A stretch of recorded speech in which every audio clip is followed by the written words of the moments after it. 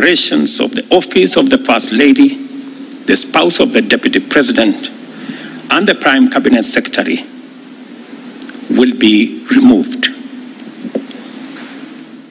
Welcome, ladies and gentlemen. Thank you so much for your always great support. Finally, after the intervention of the Gen Zs, we are no longer going to have the office of the First Lady, Madam Rachel Ruto, facilitated by public money. Number two, we are not going to have the office of the Second Lady, Pastor Dorcas Rigathi, facilitated by public money. Thirdly, we are not going to have the office of the Prime Cabinet together with his spouse, Tessie Mudavadi. As I speak, as I was just listening to William Ruto just about one hour ago, he has come out to remove a lot of things after the little demonstration that was staged by the Gen Zs. And several, about 47 state parastatals has been dissolved. He has come out again to remove and suspend the office of the chief administrative secretaries that was expected to be crafted just two weeks to come. Now we are not going to have the offices of the chief administrative secretary, so-called CAS, in this Republic of Kenya. As if that is not enough, again, ladies and gentlemen, after the intervention of the young youths, occupying, sponsoring the hashtag Occupy Our Churches, we are no longer going to have MPs organizing fundraisings across the Republic of Kenya. I want you to listen to whatever William Ruto has just said about one hour ago, then we continue. But we, before we do that, ladies and gentlemen, please just do me a favor, ensure you like the video.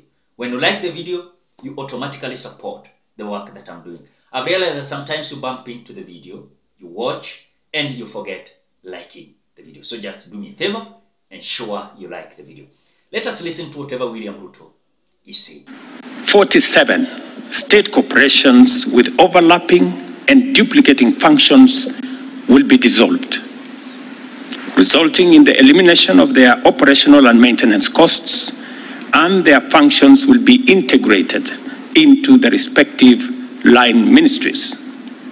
Staff currently employed by the affected corporations will be transferred to ministries and other state agencies within government.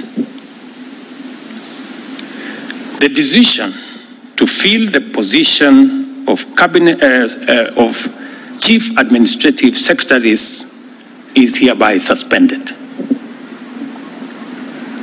The number of advisors in government shall be reduced by 50% within the public service with immediate effect.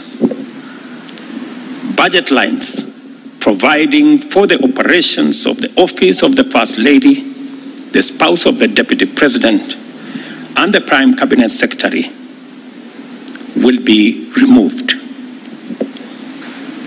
Similarly, the budget, the budget provisions for confidential budgets in various executive offices, including my own office, have been removed, and the budget for renovations across government reduced by 50%.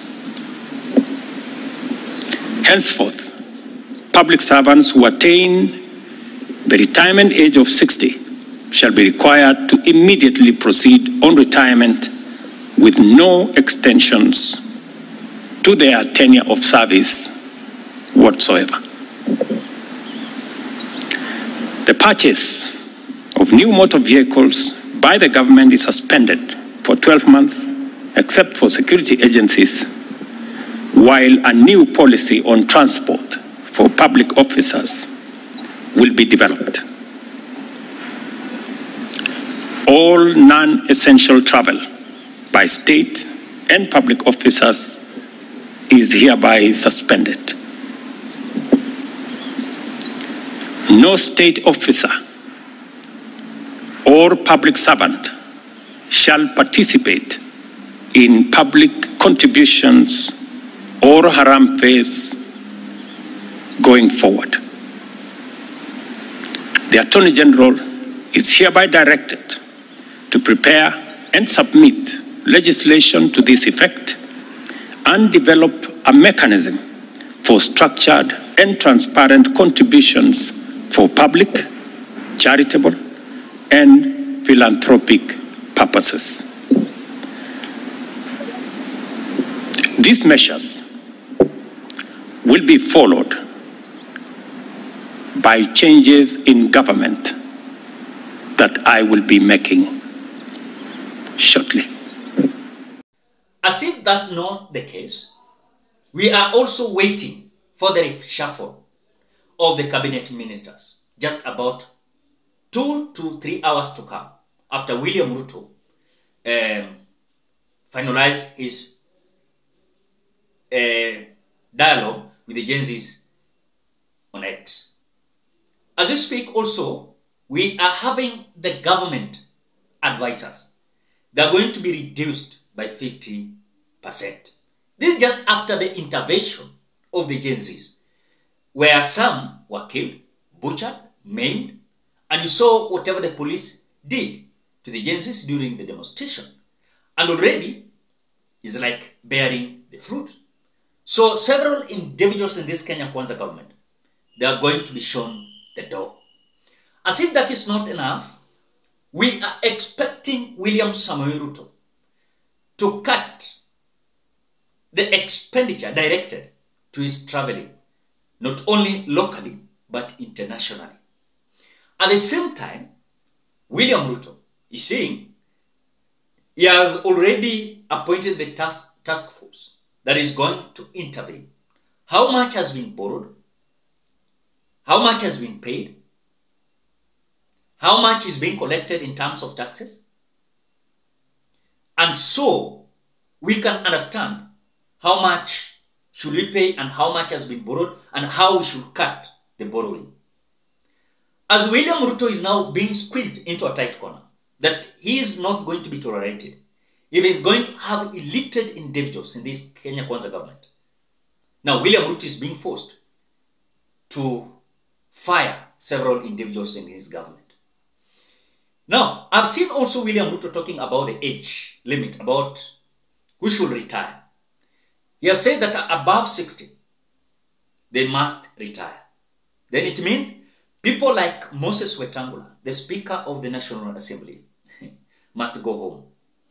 Let them just submit their resignation letter to the right authorities.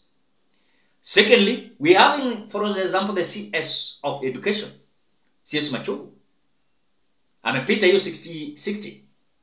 Let him also render his resignation. Because William Ruto said, those who are above 60, they must resign and enjoy their retirement benefit immediately with effect. That is whatever William Ruto has said.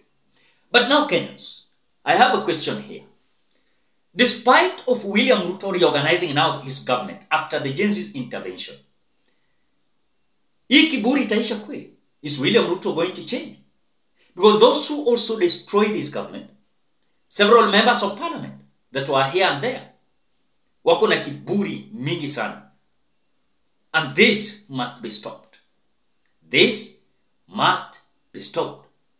The way he's stopping the fundraising across the Republic of Kenya among these members of parliament, he must also stop loitering around the Republic of Kenya and even attending some events that are small that MCAs are the one to, to control or oversee. Some several developments these cabinet ministers must minimize. You know, when I talk about project, is that you find that these CSS they usually move across the Republic of Kenya with air uh, with, with hel- helicopters across the Republic of Kenya. They use more than even 500 million Kenya shillings just moving with helicopters with just few hours. Then the development they're taking there is so minimal you can see you can't see them. So the message is very clear. William Samoei Ruto must reorganize his government. And if this government is not going to do what Kenyans wants, then William Ruto must go. I've seen some people are taken to court because of just saying William, William Ruto must go. It is not a secret here. If he cannot organize his government, let him go. That is it. So now at least some things that we were addressing is now coming to be implemented. And we are watching. We are not going to relent. We are busy watching. Ladies and gentlemen, what do you think? Drop your opinion at the comment section below. Otherwise, thank you so much because of your great support. Please consider subscribing, liking, commenting, and sharing this video. Bye bye till you meet in another video.